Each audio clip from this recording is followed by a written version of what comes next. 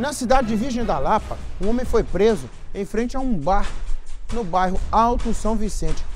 Aí, ó, uma pistola calibre 9mm e, um, e 11 cartuchos intactos que estavam dentro de um carro foram apreendidos, né? 11 munições, olha lá. É. O Fantoni vai me contar do que se trata. Ô, Fantoni, tá com arma de fogo, sem documento. Não tem posse, não tem porte, não tem guia de tráfego ou de trânsito. Aí tá tudo errado, né?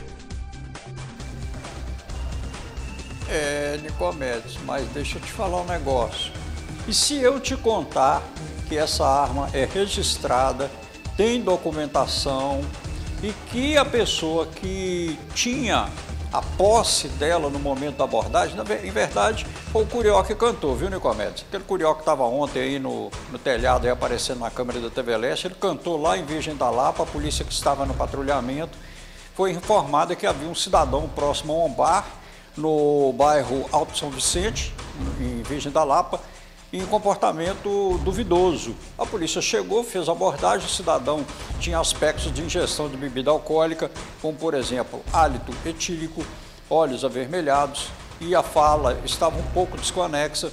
Então, os policiais, ao fazer revista, nada de irregular foi encontrado. Mas ele dirigia, ele tinha um veículo estacionado próximo ao local e o pessoal, os policiais resolveram fazer uma busca e aí encontraram essa arma ela tem certifica, ela tem documentação, só que essa situação estava em conflito com a lei.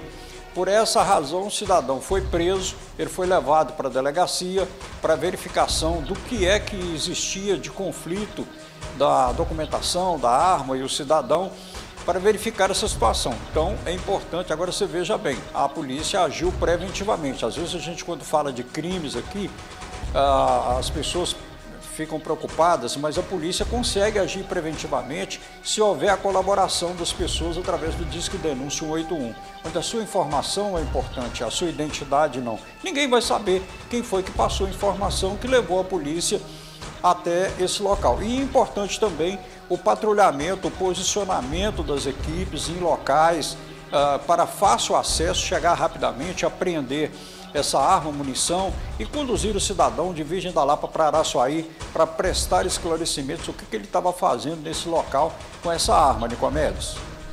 É, Fantoni, tem a posse, é uma autorização para transportar a arma do ponto A para o ponto B, né?